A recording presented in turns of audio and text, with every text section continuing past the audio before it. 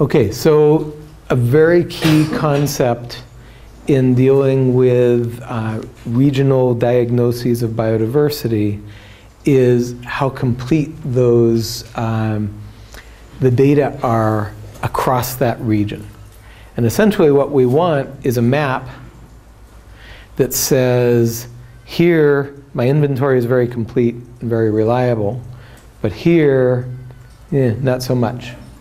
Okay? And that's going to form the basis for a lot of the downstream inferences, both on the biological side and on the sampling side.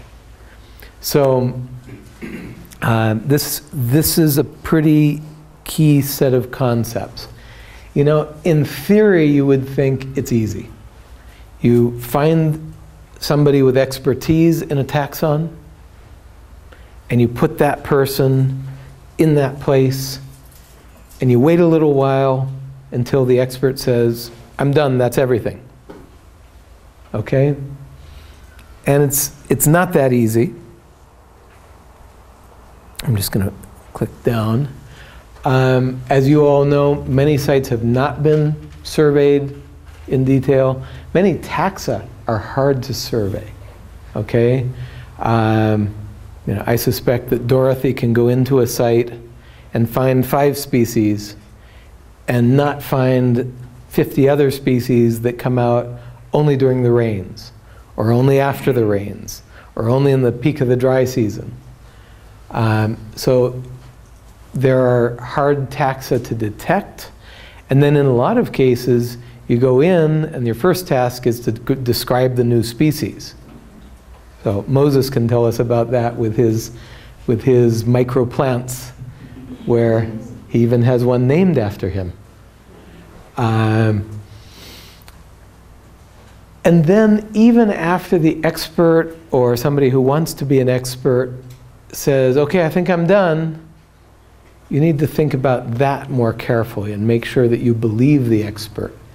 So that's where all of these other considerations come in.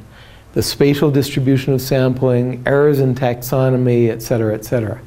So we really do need to be quantitative about this. So let's look a bit.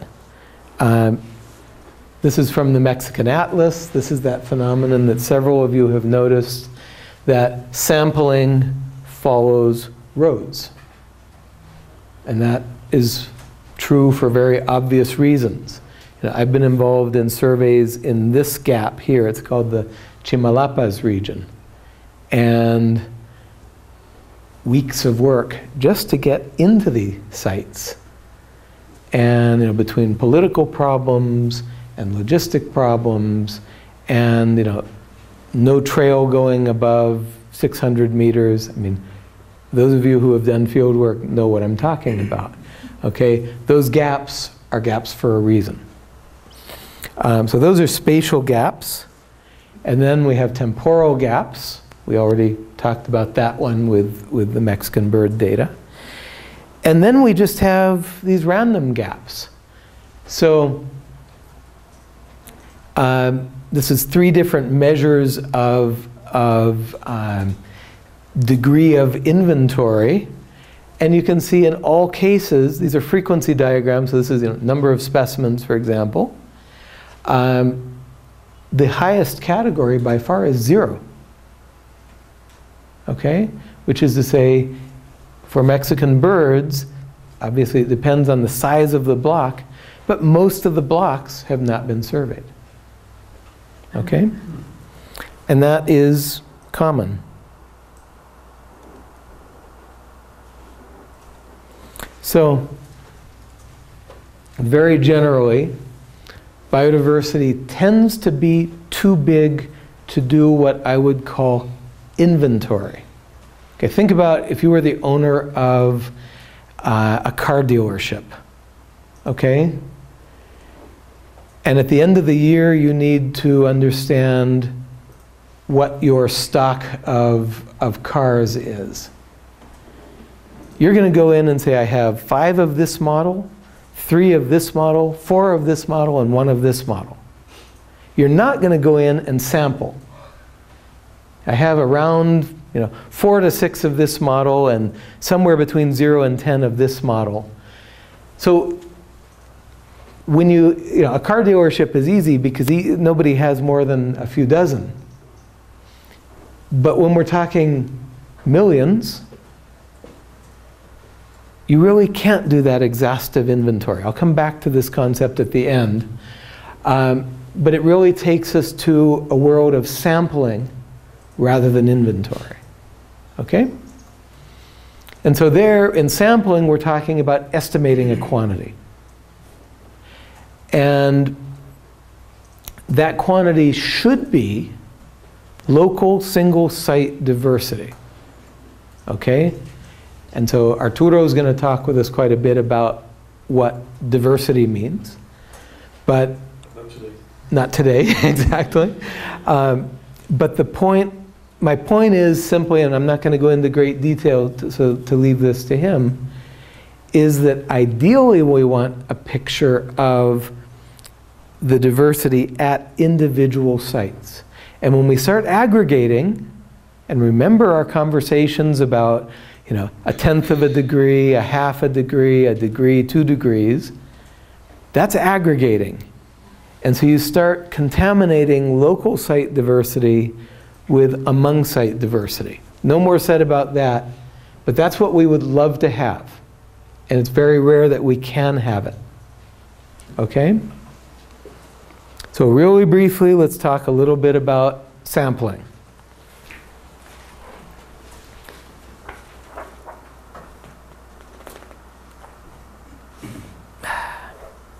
Okay. When we talk about sampling, there are going to be some assumptions. And almost always we violate those assumptions, but we should at least be aware of them.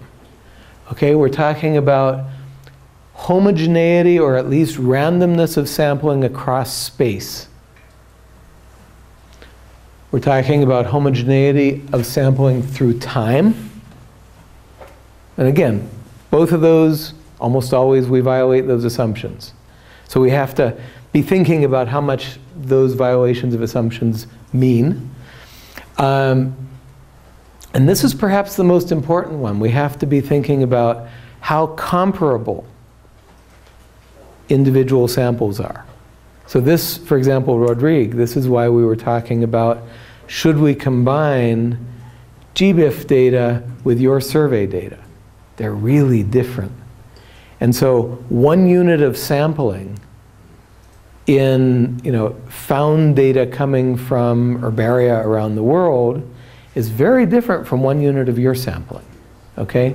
And so that comparability is really uh, key. We're talking about samples accumulating knowledge in a consistent, compar comparable way so that we can develop quantitative estimates from the samples. Now, really, this slide, which I thought was very creative, but others have said it's rather silly, this slide summarizes everything. Imagine we go to two different places and we start sampling. We're just detecting species. Which inventory is done at the end of these detections?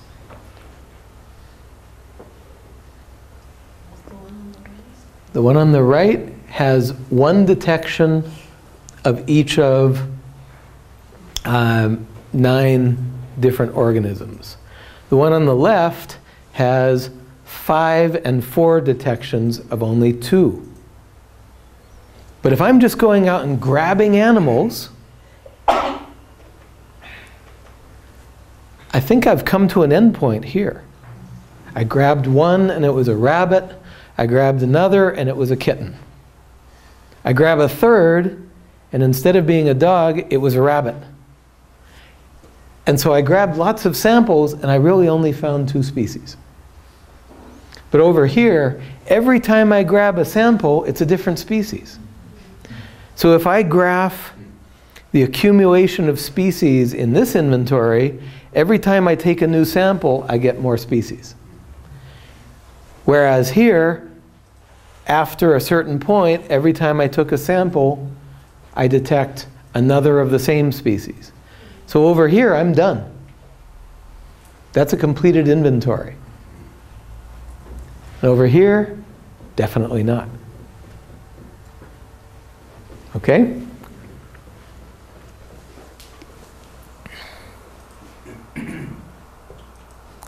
So we can, we can summarize this information.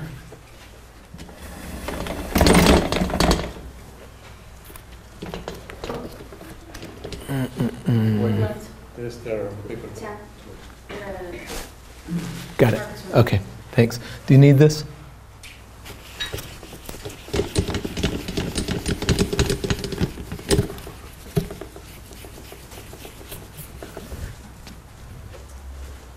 So we can summarize our sampling information as a matrix of species,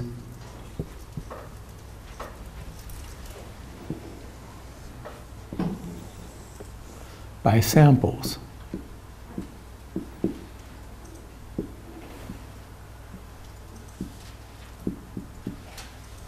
Okay?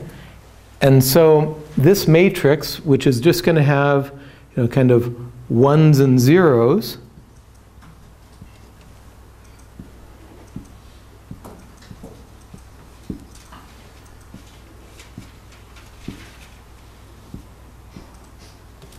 Okay? That matrix is what we base a lot of these, these um, inferences on. Um, we can talk about three levels of detail. A full matrix is going to have all of the information in this matrix, um, including abundances. Now, for some of you, abundances make sense. Like when entomologists do trapping, you put out a trap, that's a very nice comparable unit of sampling, you know, one night of trapping, and you might get, you know, 40 of this species, 20 of this species, 0, 2, 5, and 10. Okay? Or, you know, mammal people with, with um, traps. A simpler version is a presence-absence matrix where the content of the matrix is binary. And then what you will see perhaps most commonly is just the accumulation of species records. So that would be in the first sample, maybe it's the first day, I got one species. In the second day, I added one species to that. In the third day, I added three species to that. Clearly, more information is better. Okay, so up here is better than down here. Um, many people believe that a lot of abundance data are falsely precise, and that is definitely the case with observational data.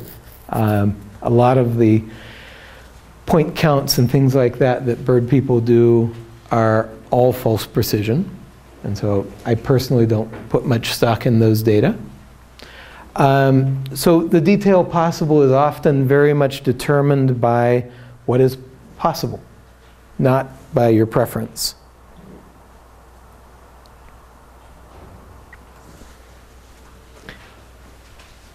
And then there are some kind of basics of this, that communities that have a lot of more or less equally abundant species will be the easiest ones to uh, characterize. So communities with high evenness, if you remember back to your basic ecology classes.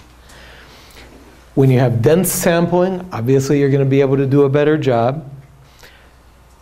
But when you have communities that have very rare species, so very big disparities in, in abundance, with some species that are hard to detect or very uncommon, those are going to be the hardest. That's all obvious.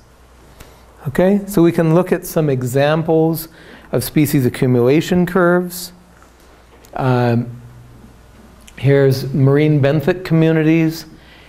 And you can see some of these communities, they start sampling and it levels off. And maybe these last 10 sampling periods, they didn't find any new species.